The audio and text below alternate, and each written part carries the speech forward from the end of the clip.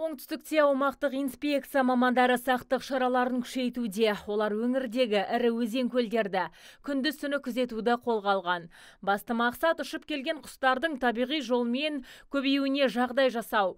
Өткен жылы тексерулер мен табиғат қорғау шаралары нәтижесінде 324 құқық бұзушылық анықталған. Оның ішінде 253 балық шаруашылығында 43-і аңшылық және 28-і орман шаруашылығына қатысты. Ал биылғы жылдың алғашқы тоқсанында 93 әкімшілік құқық бұзушылық оқиғалары тіркелген. Ұлттық парк өңірлік парк аумақтарында бұрындар шетелдік аңшылық деген ұйымдастырылатын.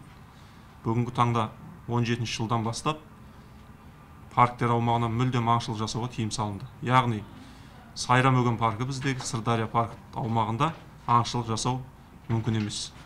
Заңнан алынған бөлігі бұл. Яғни бұрындары бірнеше тау ешкілер сайрам өгемнен бірнеше еліктер шетелдік туристерге аңшылыққа берілетін. Бұл жолы биылғы жыл енді таза аңшылық болмайды тыныштық сақталуда.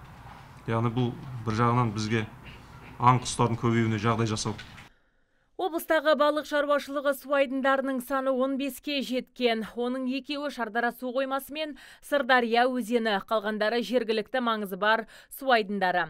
2017 жылға арналған жоспарланған шабақтандыру жұмысы 151 пайызға асыра орындалып, су айдындарына 186 мың балық шабақтары жіберілді.